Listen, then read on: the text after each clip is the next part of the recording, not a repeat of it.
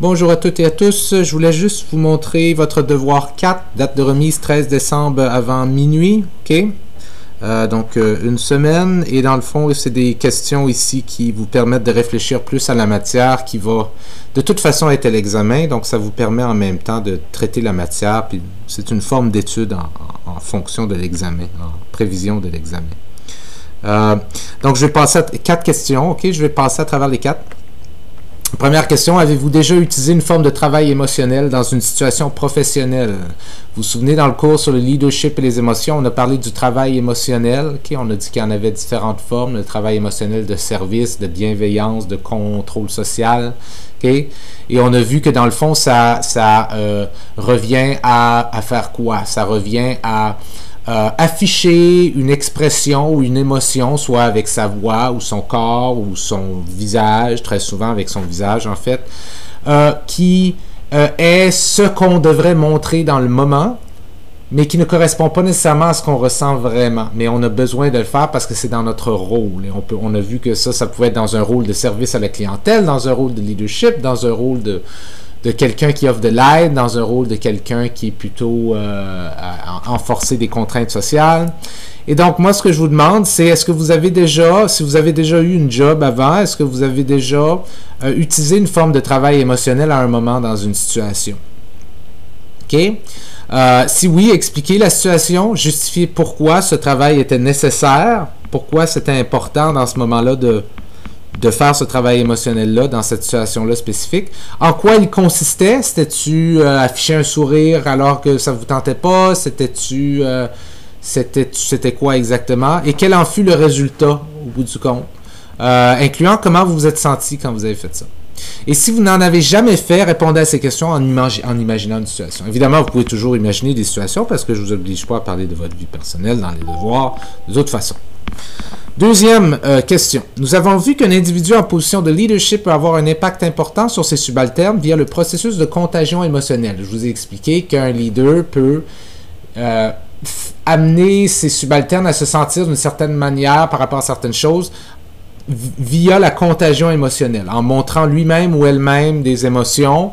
Via la contagion émotionnelle, ses subalternes peuvent venir à ressentir ces émotions-là, eux aussi. Euh, il s'avère que les gens diffèrent en termes de leur tendance à la, contagion émotionnelle, en termes de comment susceptibles ils sont euh, à, se faire, euh, ben, à tomber dans la contagion émotionnelle dans le fond.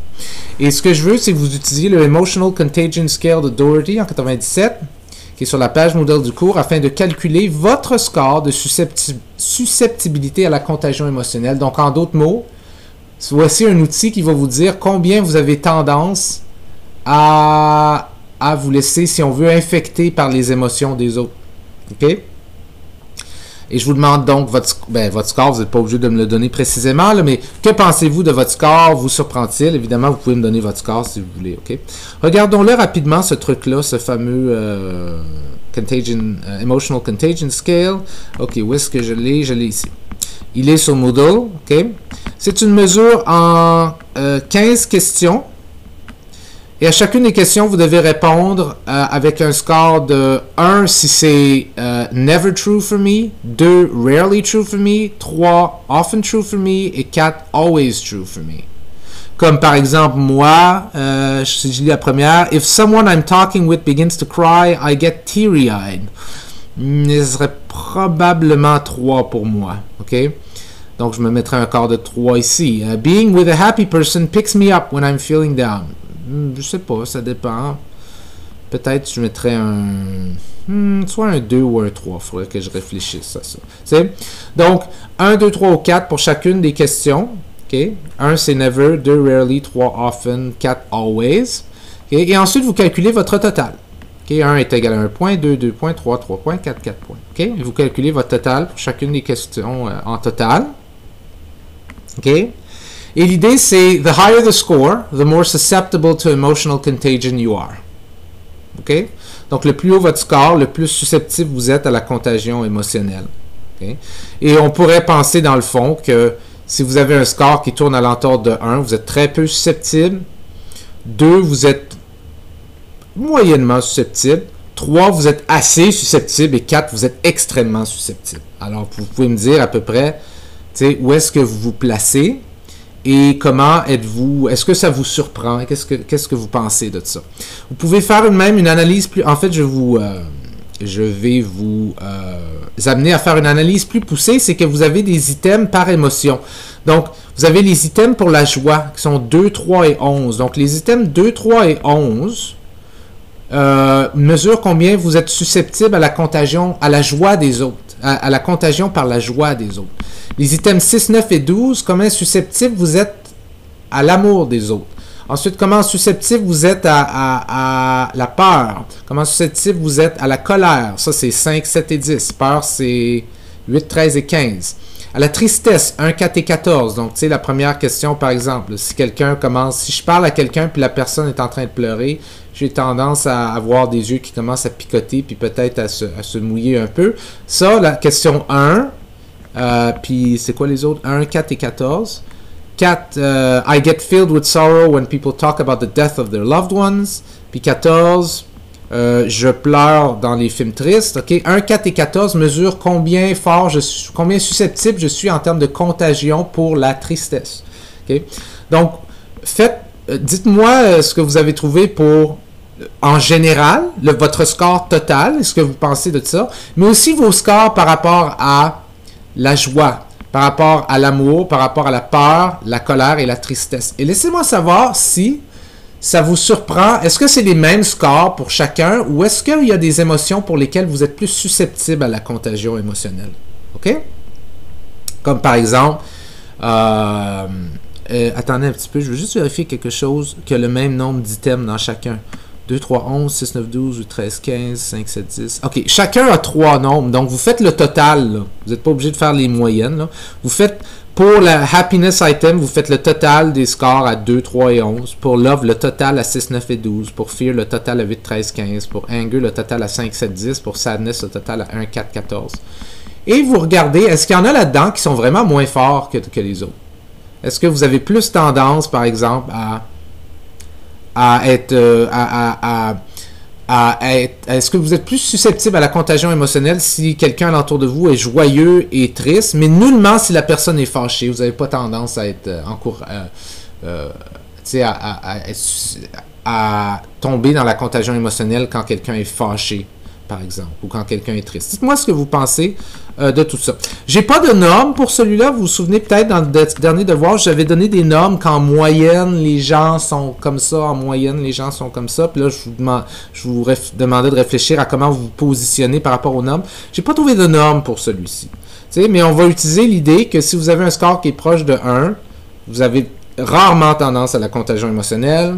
Ou, ou non, jamais tendance à la contagion émotionnelle. Deux, rarement. Trois, euh, moyennement ou parfois, disons, ou assez. Et 4, c'est toujours. OK? Donc, utilisez ce genre d'idée-là. Euh, voilà pour ça. Troisième question. Nous avons vu qu'il existe différentes stratégies pour tester l'hypothèse de l'universalité de certaines expressions faciales. Vous vous souvenez cette hypothèse comme quoi certaines expressions faciales seraient universelles? OK? On les retrouvait dans toutes les. Elles feraient partie du répertoire de l'être humain en général, peu importe la culture. Et on a vu qu'il y avait différentes stratégies pour tester cette hypothèse-là, et je vous demande laquelle trouvez-vous la plus convaincante et pourquoi. Et quatrième question, on a parlé aussi des règles d'expression. On a vu que des règles d'expression, dans certaines situations, il y a des, dans certaines cultures, il y a des, ou dans certains milieux même, euh, il y a des règles de euh, c'est pas bien de montrer telle émotion. Ou si tu vas le montrer, c'est bien de la montrer d'une certaine manière. Ou c'est juste telle personne qui peuvent les montrer, par exemple. Et donc, ce que je vous demande, c'est est-ce que vous êtes capable, en réfléchissant, d'identifier une règle d'expression qu'il y a dans votre milieu, dans le milieu dans lequel vous existez. Il y en a plein alentour de vous de règles d'expression, croyez-le ou non. Ça peut être qui a le droit d'exprimer telle émotion? Comment est-ce que la personne a le droit de l'exprimer? Quelle émotion il ne faut pas exprimer dans tel moment, par exemple. Euh, Pouvez-vous identifier une règle d'expression dans votre milieu? Et je mets soit dans votre milieu professionnel, si vous êtes capable d'en trouver un dans votre milieu professionnel, ça, ça serait bien. Tu sais, genre dans mon travail ou dans mon milieu dans lequel j'opère, il y a telle règle d'expression, par exemple. Puis, en passant, ça, peut être ce que vous percevez être une règle d'expression. C'est pas obligé d'être une règle qui est écrite noir sur blanc dans un document quelque part.